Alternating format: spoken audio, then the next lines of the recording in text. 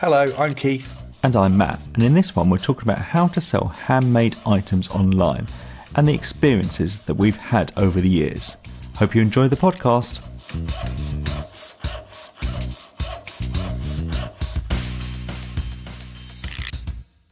So, online then, Matt, what experiences have you had selling online? Well, I started many years ago with what was the biggest thing at the time, which was Etsy. And I sold a few bits, nothing major, but I thought I'd try something else which was Folksy, which is like Etsy, but it's a UK based one. Now, I think both of them had similar business models, as in there was a listing fee and the charge commission on each sales. Even if you're not selling anything, you're still getting charged for the listing fee each month or however long it was. I actually had more luck on Folksy, which was just UK based, because actually I was only ever going to ship things domestically. And because I don't want to be too stereotypical, but it tends to be a lot of women who do it. So there's a lot more feminine orientated products. So every time it was Father's Day or Christmas or something, they would do gift guides and they would do gift guides for her, gift guides for a teenager, gift guides for him. And in the him bit, they would always list a few of my products Ah. because they're reclaimed wood with beer bottles in. So that was really helpful. But at the time, I was one of the very few woodworkers that did gifts that. I mean, I'd never designed anything thinking this is a, a male gift, this is a female gift, but the editors clearly thought that will work in that category. So that was, I guess, I'd found a niche on that website and that was quite helpful. But then I tried Amazon Handmade, which is Amazon's version of Folksy or Etsy. But before we get onto that, I know you were on Etsy, so maybe did you have more luck? Um, yes, but I wouldn't say I loved Etsy as a platform. Um, so I thought I'd pull up my Etsy page and go through some statistics. Um, since being on Etsy, I've had 255,000 page views, 130,000 visits to my store, and 848 orders, and I've made 14.7k in revenue. Hello, it's Keith here, just interrupting while I'm editing this podcast just to clarify that this was over the course of about five and a half years. I really should have said that. Anyway, back to the podcast. And I still sell on Etsy to this day. However, I think pretty much 90% of the success I've had with Etsy has been via my YouTube channel. And I think the problem with Etsy is that they don't really do a great job at promoting your listings. And I also think that for the fees that you're paying Etsy, they should be really doing a better job at putting your items out there and getting it in front of people that are shopping online. Um, so it kind of works for me being a YouTuber, but I don't know if I would want to sign up to Etsy if I wasn't on YouTube. I also did some analysis of sales over the course of a year, and in this particular year, I made £4,556 in sales, so that's turnover. And of that, £711 went on postage costs, which is about 16%, and a further £401 which is 9%, went on Etsy fees. So the profit was actually £3,444, which is basically 75% of that turnover. And then you've got material costs Yes. on top of that. Yeah, so the, the items that I sell on Etsy, originally I was basically just selling items that I've made. Um, but I soon learnt that that wasn't really doing so well. I've probably still got a few handmade items on my Etsy shop but it's certainly not where I've had the most success with sales. Again, being a YouTuber, I've had more success at selling merchandise and stuff that I make on there for people who do woodworking. So, for example, my oil wax finish is definitely the item that I sell the most of on Etsy. I also sell some plans for items that I've made so that other people can make the same things. And they're pretty good because it's pretty much passive income once you've done the plans and once you've put together all of the information. That might take you half a day, but once that's done, it'll carry on um, making money into the future. But yeah, taking the oil wax finish as an example, I sell them for I think it's fourteen pounds eighty five pence for a single pot of wax. The total costs in that pot of wax is about £6.35, which is made up of £3 of postage and then £3.35 of ingredients, tin, and labelling. So from each pot, I make £8.50. It probably takes me about an hour of my time to make 12 pots. So if you do the maths on that, it's £8.50 times 12, which is £102. And that seems pretty good for an hour's work. But then obviously you've got to factor in the time it takes to package each item when the sale comes through, the time it takes to go to the post office to send that item out, and everything that goes along with it. Um, even the cost of the electricity to make it, I guess, is is something that you could factor in. Yeah. I'm not an expert at pricing things at all, but to me, it kind of justifies carrying on selling it. It's not, uh, I wouldn't call it a big money spinner, but it's um, it's decent enough for my liking. But it shows you how hard it is to make a living. I mean, you're a YouTuber with nearly 200,000 subs, and you are not driving enough traffic to Etsy to anywhere near even make minimum wage on. Exactly. And but that's the one thing Etsy offers, I guess, is you're saying it's not good for people discovering you, but at least they can. If you just set up your own website, no one would find your website without driving traffic to it. Mm. But as you're a YouTuber and you're driving all the traffic to Etsy, you could be driving the traffic to your own website and not paying any commission. It's just um, the time and effort is to set all that up. If you're looking for a cat bed, you could go to Etsy and type in cat bed and find you. But the trouble is, you could be on page 16 because there's so many. And because it's international as well, I, it, you, I think you can select UK only, but it's it's not obvious how to do it. So you can get lost and you find this cat bed you love, and actually that's been made in Taiwan or Spain or and then the shipping costs are ridiculous and kind of feel oh i'm just wasting my time looking at all this stuff that i'm never going to buy because it's logistically not possible Yeah, international shipping is a funny one with Etsy as well because I've everything that I've listed I've made available across the world, um, kind of highly expecting only UK sales to come in, but I've had a lot of sales from places like USA and Canada um, where they've paid more in shipping than the actual cost of the item, which astounds me. But yeah, my advice for anyone wanting to join our Etsy is definitely click on the worldwide shipping. Uh, there's a lot of hassle that goes with it. You might have to fill in customs documentation and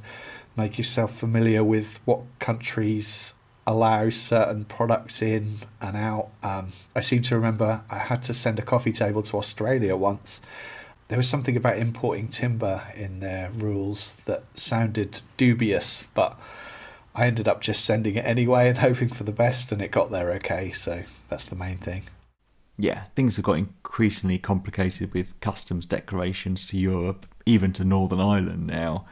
And it's very hard to find the information you need on how to fill these things out. It is. It's a steep learning curve, but the other thing I'd say is with larger items. Um, so I've listed several coffee tables on um, Etsy. Being a YouTube woodworker, obviously I make a lot of coffee tables, and any that haven't had a use either for myself or family and friends have ended up on Etsy, and I've still got two coffee tables listed on there, and they tend to just sit there for months, if not years. Um, even when you price them really low, the two that I've got on there at the moment are seventy-five pounds each. Um, but yeah, they just sit there for ages, but eventually they do go. So Mm. I just kind of leave them sitting there. I'm paying a monthly fee, I think, for them sitting on Etsy, but Sometimes you just have things sat around and you just want them shifted because they're taking up room. yeah, I've definitely used Facebook Marketplace when I've had prototypes or seconds. And if it's something I would normally sell for £60, I put it on Facebook for 20 quid because I don't want to list it on my normal place. I just want rid of it. But if I can just get my material costs back yeah, rather than throw it in the fire. cutting your losses. Yeah. Yeah, exactly. I I guess the other thing to say about Etsy is if you devote a lot of time to it, you can probably find ways of getting it to promote you in a similar way to how we work with YouTube, trying to understand what the algorithm likes and what it doesn't like. So I think if you set up as an Etsy business and you are really devoted to learning how to promote your items on there, then you might be able to do well. And there are people out there doing really well on Etsy, definitely, but it's not as easy as you might first think. Yeah, I think with these sites, success breeds success. The more sales you have, the more when they promote you, the more reviews you have, the more items you list. I mean, a bit the same with YouTube. Mm.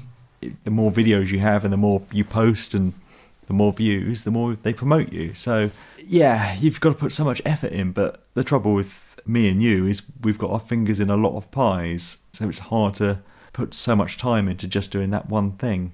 So, do you still use Folksy? Do you still have items on there? No, I deleted everything when I moved house just because I didn't want to be moving with stock. So I cleared out all my stock on Facebook Marketplace. As I say, it's good for getting rid of. you've got to put them almost cost price just to get rid of them, but I did. There's very different uh, to being a a YouTube woodworker making one item a week to I want to make a batch of 30 items. You need such a different selection of tools. You really need almost getting into industrial machinery you need to be able to process that much, especially rough sawn wood. In theory, I could make everything with hand tools now, but I needed a big planer thicknesser and dust extractor in a workshop. Like, couldn't be doing that in my living room. So I just, I knew with the move that I would not be able to continue that. Yeah, and that, that kind of economies of scale thing where you just make things in bulk and, you know, make 15 of something at a time and list them on Etsy is definitely the way to do it. Yeah, and you get better at it. You've got to do all the cuts you need with the ripping blade on the table saw at once. Yeah. Even if one bit is for part one and one part's for part 17, and then swap out your crosscut saw blade and sled and cut all those parts, and you get very good at doing it because the quicker you can do it, the more profit there is. And that's not saying you're rushing it, you're just working more efficiently. And maybe if you're planing all the wood, you're planing it for three different items rather than just doing it for the one. I'm sure for things like your wax, I bet you've got better and better and more efficient at making it each time. I have, yeah. I now use a slow cooker to do it. I literally just put all of the ingredients in a slow cooker, turn it on, wait a couple of hours, go back to it, put it all in tins, slap some labels on, and then there's 12 pots of wax ready to go. And there's similar comparisons with how I do YouTube now as well. So, for example, I'm scripting two different videos at the moment, and then I'll go and film them both. And there's time savings just in doing two at a time. Whereas if I scripted a video, went and filmed it, scripted a video, went and filmed it, that would take so much more time because I would need to sort my hair out, uh, find the right camera lens, set up the lighting, and all of that stuff. It's it's makes sense just to do things in bulk, doesn't it? It's more time efficient. So I'm going to have to really pay attention to what you're wearing in videos and see the two that were clearly filmed at the same time now.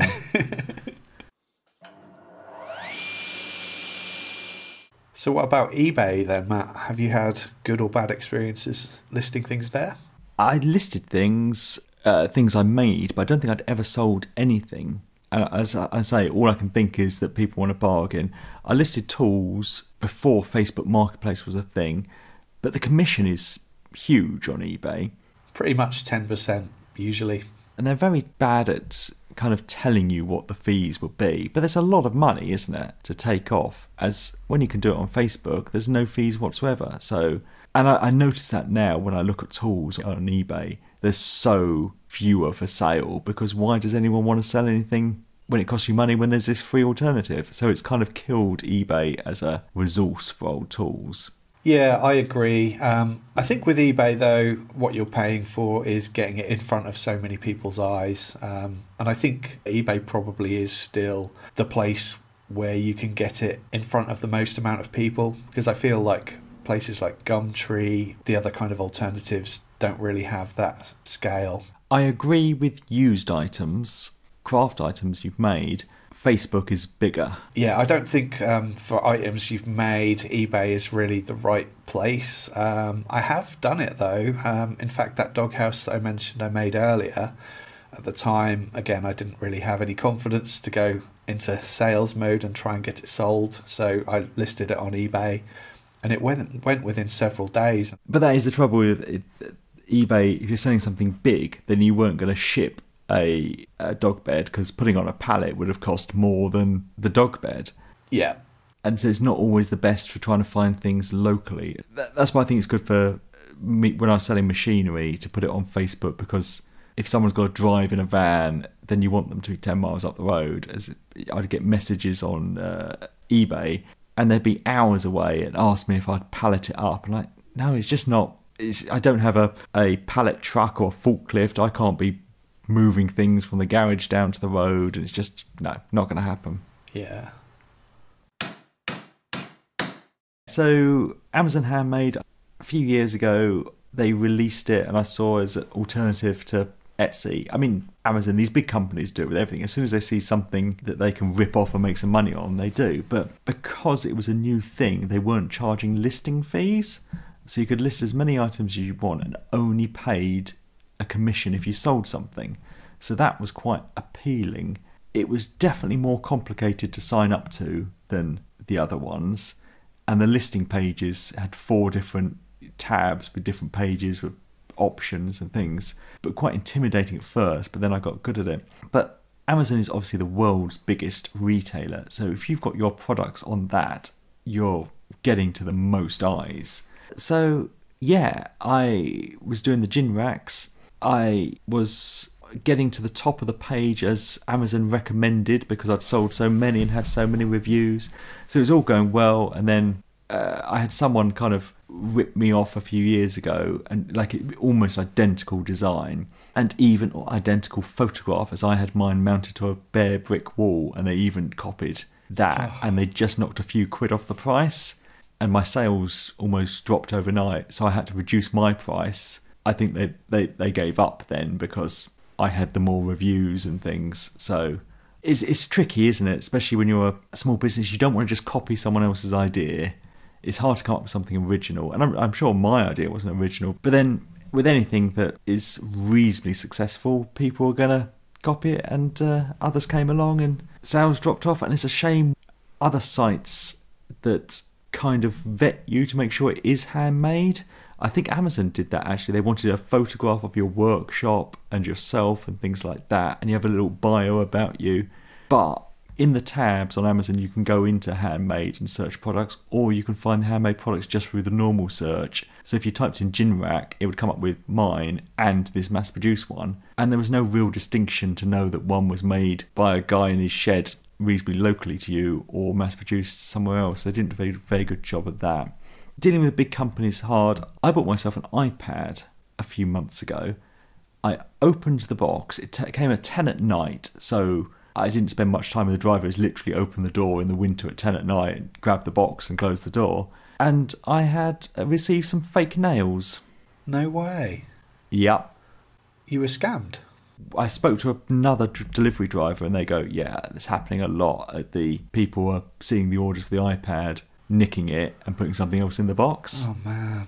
Because they're worth a lot of money. But it took me nearly a month to get my money back with filling in forms and investigations and complaints and things. Yet, I would have it that someone would order something, I would always send it a tracked service, so it would be delivered.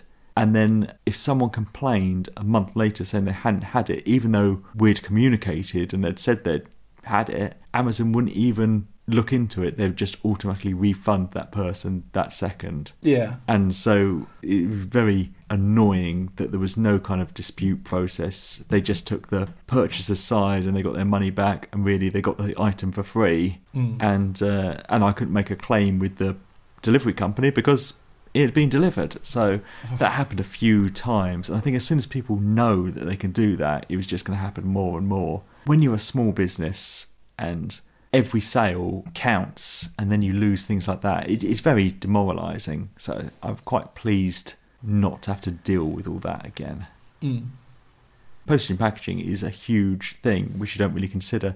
But waiting in for couriers to come and pick things up or taking things to post office is a huge amount of your time. Yeah, I mean, I tend to do three post office runs a week just through the oil wax sales, basically. Um, where I used to live, I had a post office on my road, so I, it was literally a two minute walk down the road and the items were gone. But now, obviously, I'm in a village, so I need to drive to the post office. So yeah, it's a bit of a pain and it does take time out of your day. And I think eventually it might get to a point where I might need to look at some sort of fulfillment service similar to what Peter is doing with his jigs. But for the time being, I actually quite enjoy packaging up items and uh, and taking them to the post office because it's a it's a reason to kind of break up the day and it's and break up activities and just do something different. And I quite like the monotony of wrapping things as well. I got into using the new Royal Mail Collect service. Oh yeah, I think they were charging I can't remember if it was 30p or 60p an item and they'd only do five items a day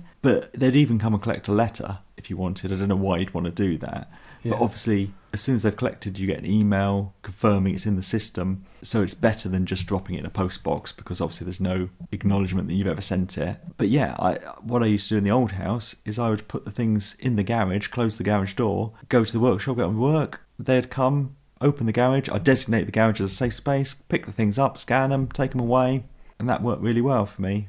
The postage and shipping fees as well. With my total Etsy turnover, sixteen percent of that is just going on postage fees. Plus the packaging, and we moaned about material prices, but it's the same for the packaging. I used to use this um, EcoFill, which is the like the packing peanuts that are made from plant base, and you can dissolve them in the sink or um, put them on the compost. But I think I was paying eighteen pounds a bag a few years ago, and now they're twenty six pounds a bag, and it's it all adds to your cost, and the boxes and the tape and all the courier service have gone up in price, and sometimes you look at the item you're trying to sell, and because there's competitors, you can't put the item up in price. It's just all eating into your profit margins.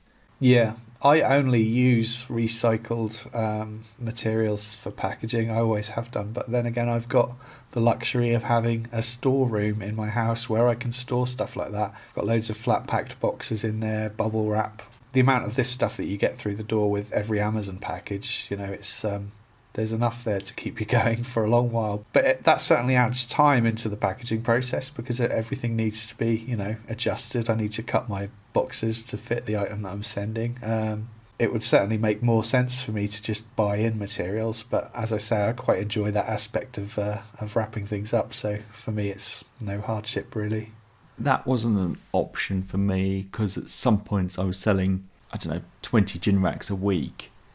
So there was no, I had to buy the boxes and the loose fill packaging because under my spare bed at the moment, there's bin bags full of brown paper and all the packaging. I save it. I'm actually going to stop doing because I, I haven't sent anything in months. I don't know why I keep saving it, but it's just uh, old habits die hard.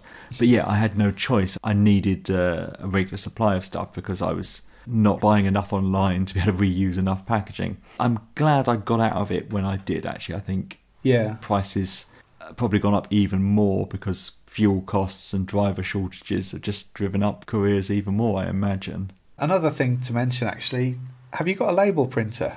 No, I've always wanted one. What I've got is just a normal A4 printer that has sheets that go through it with them sticky back labels. Yeah. But it wastes half the sheet, I guess. But they're extremely cheap. But have you, you got a proper label printer, have you? Yeah, I did a video called A Day in the Life, which was just me doing stuff during the course of the day that I put out for my Patreon viewers just as a, an exclusive video. And I got a comment on that from Carl at Strawbite Workshop um, asking, you know, what the hell are you doing? Get yourself a label printer. And I thought, "Ah, I don't need a label printer. And then I got one, and it's like, oh my God, that saves so much time. because you just hit print, it comes out as a perfect label, you slap it on the parcel, and you're done. And it's a thermal printer as well, so it prints so quickly. Um, that saves so much time. Uh, so thank you, Carl, if you're listening. Yeah, he sends out a lot of uh, things, and I imagine it's all small parcels for him. Because I remember the post office, there was a system where you could have like a almost like a credit card thing, and put everything in a bag and drop it off, and then they'd scan it. Next time you go in, you'd hand over your card, and they'd put the information of what they scanned on. But I was never at that kind of level of shipping to justify that. And I think you can get the Royal Mail to come and collect a sack of things from your house, but I think you've got to be spending like twenty thousand a year on postage with them for them to do it. Hello, Keith here, just interrupting the podcast to let you know that we now have a Patreon page. We don't earn any money for making this podcast, and it takes us quite a lot of time and money to prepare and produce each episode, and we'd like to keep putting out for free. If you'd like to help support it, there'll be a link to the page in the show notes, or you can search online for Workshop Banter Patreon. We also want to say a big thank you to everyone who has signed up already. We really appreciate it. There's also the option of having your own website to sell from. Obviously, both of us have got our own websites, but they're not really geared up for sales because personally, I rely on Etsy and places like that as a platform to sell the items that I want to sell. Do you have any merchandise stuff, or do you use Teespring? I do have Teespring, not hugely successfully, but I put e commerce on my Squarespace, not sponsored, site. It's one of those 1% of podcasts or videos Yeah. that isn't sponsored by Squarespace. If you're listening, we'll have some of your money because I have been using Squarespace for years and years, way before all the adverts actually. But it's just so easy. As I had a go at WordPress in lockdown, thinking I'd have time, but the amount of work to do it and then the updates, there's constantly bits that need updating, as when you have something like Squarespace. Other platforms are available. It all just gets done for you behind the scenes rather than it was almost a daily basis something needed doing. And all the security concerns, and you can see the logs of all the times people have tried to hack you. And it's just terrifying like, oh, Squarespace just handles all this for me and I never need to know about it. But also the costs, I can't remember what Squarespace costs, like £10 a month, say. But hosting it doing it yourself was not much different in price. In fact, it might have even cost more money, yet I was doing all the work. So I cancelled Squarespace, did it all myself, and then I actually got busy with work and realised I can't be spending this much time on just maintaining a website. I need someone else just to take this off my plate and went back to Squarespace. yeah. So it was a bit of a learning curve, but I think it's a thing about being self employed and running your own business. You're the accountant, you're the marketing person, you're the social media person, you're The web designer. web designer, and sometimes you go, I just can't do it. I can't do everything. So, does Squarespace have its own mechanism for sales? Are you able to sell items on your website through Squarespace? Yep. And I assume there's an additional cost for that. There's different subscription models, as in you can have your basic package, which is just a website, and you can add e-commerce. I think I'm in one that's they charge. I don't know.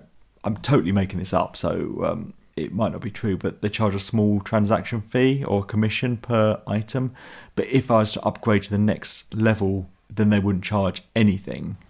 Right. um, but I'd be paying more for the website each month. But that could easily be worth it if I was selling much. But at the moment, I'm I'm not selling much. So, but it's very slick. Um, it, payment through PayPal and uh, email, like the managing. As soon as I've got it, I think I've got it linked to Royal Mail. So as soon as I like print the label, it marks it as shipped. So it all works very smoothly All right. but I don't think anyone Googling notepads would ever come across my website. But obviously, people that click a link under my video, it doesn't really matter where the link goes to, if it goes to Amazon or Folksy or Etsy or eBay or my own website. So it might as well be my own website, and I make more money per transaction. And I guess the same is true with if people are finding you, I guess, increasingly more on social media, if you're selling things, people are finding you from Facebook or from Instagram, then you could be driving people to your own website. As back when I first started years and years ago, if I just created my own website and put things for sale, no one's ever going to find it. Yeah. It's just going to get lost. Um, search engine optimization is quite a tricky skill, and really, all the bigger search engines want you to pay for getting ranked to higher, I think. So I don't know how anyone would ever find you really, unless you had a very unique product and you were the only search result for that. But you're thinking of redoing your site, I believe.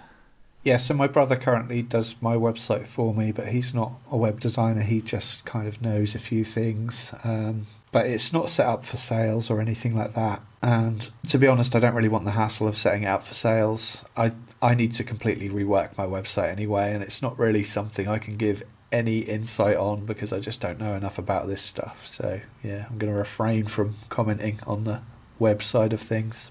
Yeah, I don't know anything at all, but I think it's really important to have a website, even if it's a basic one. There's the amount of businesses that don't have websites still, I find amazing. Or you look up a business and all they have is a Facebook page, and you just can't find, they don't update it, and it's, I think it's just unprofessional. As soon as a place, especially pubs seem to be terrible for it. They don't have websites. Yeah. You just need to know the opening times and a menu and some basic things. Yeah, and it doesn't need to be anything complicated, really. Just a landing page with, you know, telephone number, address, that sort of basic information.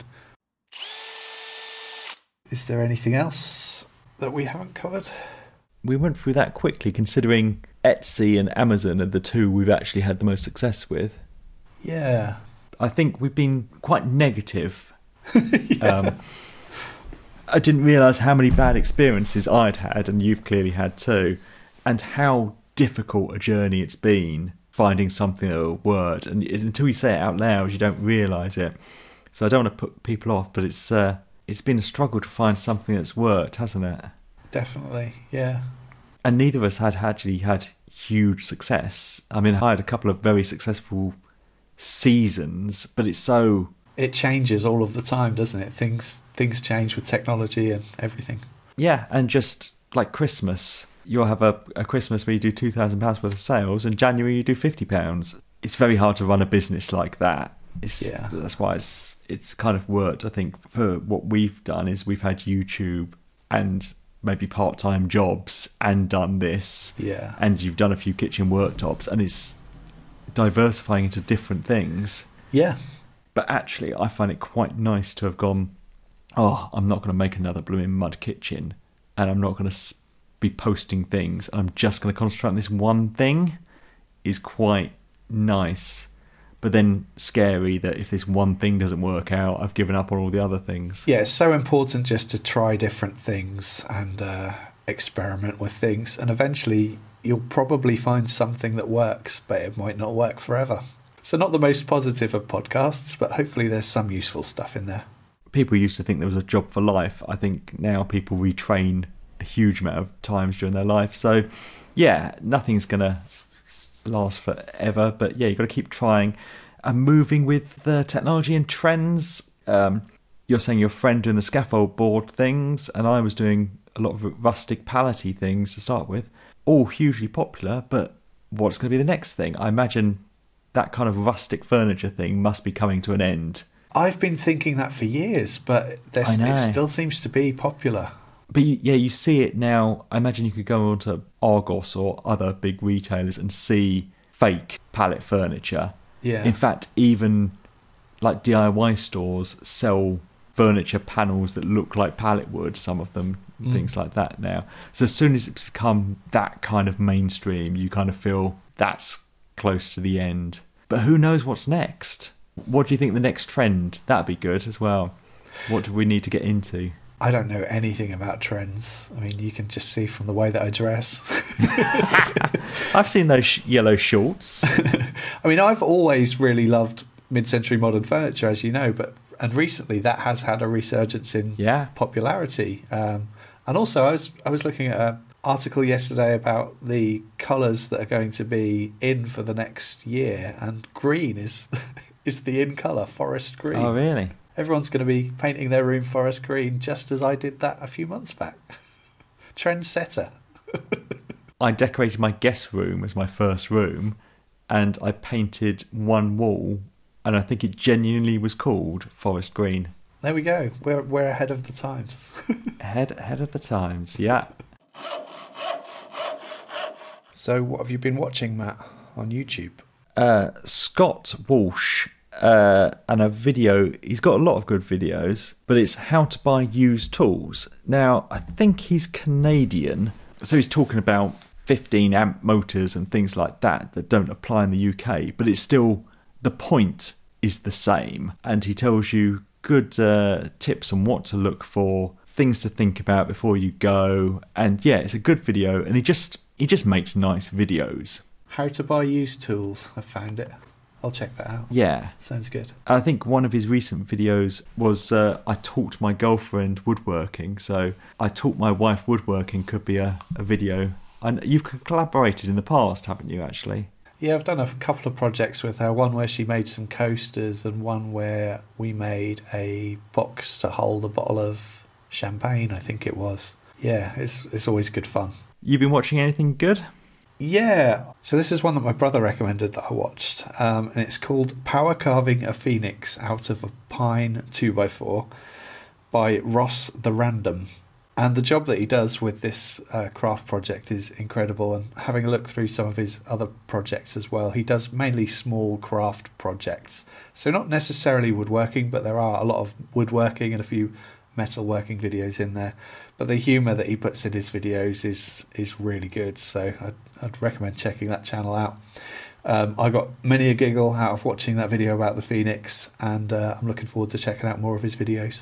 Oh, that sounds good because I would have thought one of the hardest woods to carve would have been construction timber. Well, it's soft, but the trouble is you've got all of those knots and awkward parts to negotiate. Knots, and it just would splinter out, I feel. Yeah. So, yeah, that must be difficult. He's got some crazy numbers as well, I've just seen. He's got a video with 8.8 million views.